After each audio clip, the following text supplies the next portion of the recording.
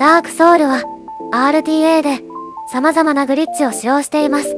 壁を抜けたり、本来行けない場所に行ったり、さらにはアイテムを増やしたりなど様々なバグがあります。このようなバグを私たちはたくさん発見してきました。中には新しいバグの発見によって必要がなくなったバグや便利だけどルートの都合で使えないバグが何個か存在します。今回はそんなバグを厳選して紹介しようと思います。消えた理由も含め楽しんでもらえれば幸いです。まず、一つ目は、カークを利用したデーモン司祭。ムカデのデーモンをスキップする方法です。生身でカークが侵入してくる状態で、金の切り前の階段まで行きます。カークが来る前に、周りの雑魚が邪魔になるので処理しておきましょう。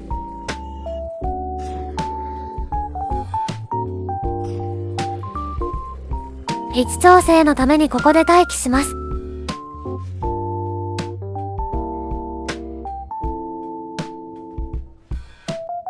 カークが来たら、一度パリーして逆サイドに移動します。そして、柱の隣で壁に密着した状態でパリ打ち面をしましょう。少しでも位置がずれると死ぬので、慎重に位置調整してます。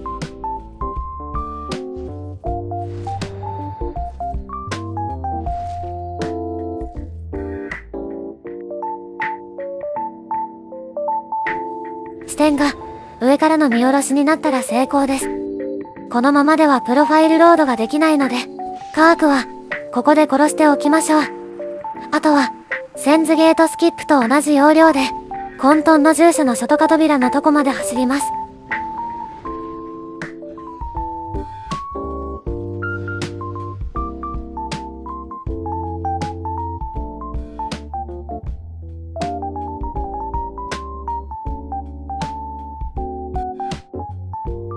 扉を越えた位置に着いたらプロファイルロードをします。これでスキップは完了です。あとは、ボスを倒しに行きましょう。リマスター版発売当初は、増殖の方法がまだなく、地道に人間性を30個集める必要があり、検証した結果このバグを使った方が早いということが分かり、使われていました。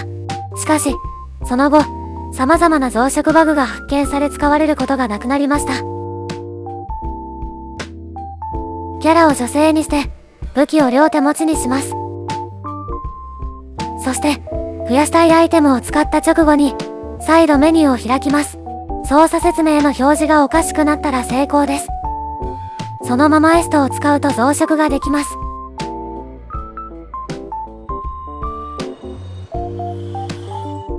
ボスソウルと同じように、木彫り目の魂も増やすことが可能です。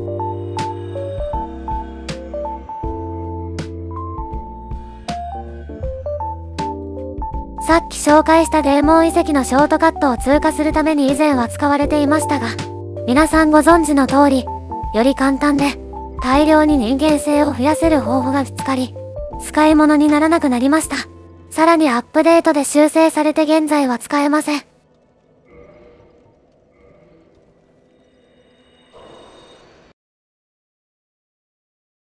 次に紹介するのは、プープオークというバグです。まず、古城の商人からお買い物をします。バルデルの兜を買うのですが、この時決定ボタンを押す瞬間に、マウスで左上の矢印をクリックしてタブをスライドさせます。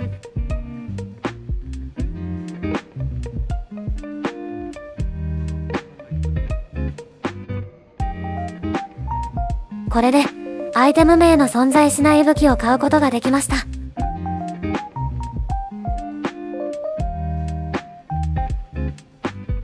モーションはありますが、テクスチャもなく、ダメージも発生しません。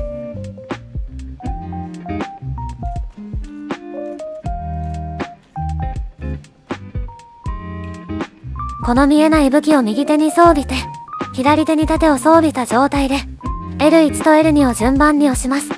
すると、このように、自分の動きがおかしくなります。これがプープウォークです。ただ動きが面白くなるだけのように見えますが、使い道はちゃんとあります。なんと、プープオークの状態ではしごを降りると壁を抜けることができるのです。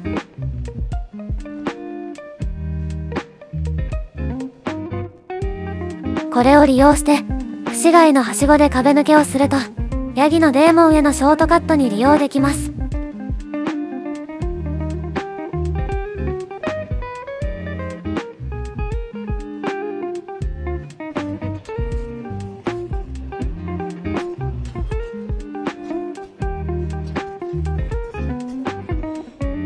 リマスターでは、このようにはしごを登り降りするだけでいけるので、不要になってしまいました。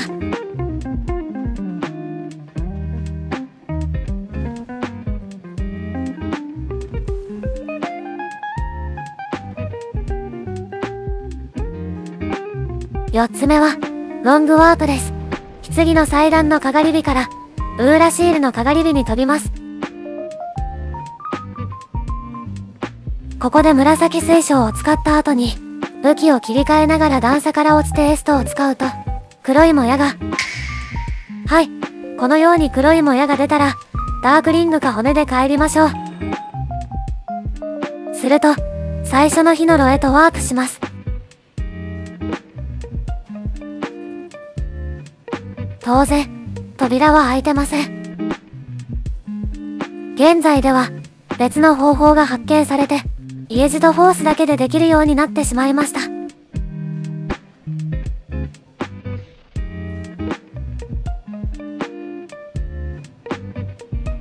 DLC に行く必要がないので、こっちの方が早いです。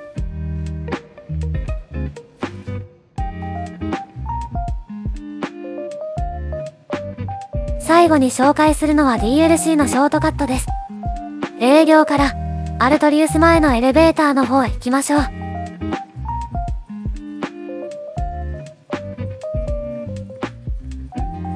そして、ここにいる庭師を倒して、守護者をエレベーターに誘導します。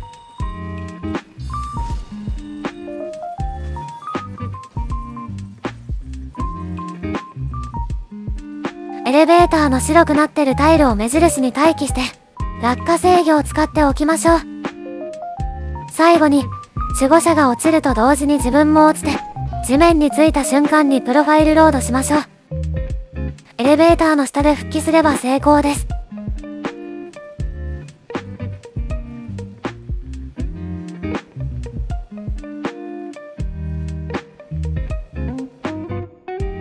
とても難しい技でしたが、その後、大きめな武器があれば簡単にできるやり方が見つかりました。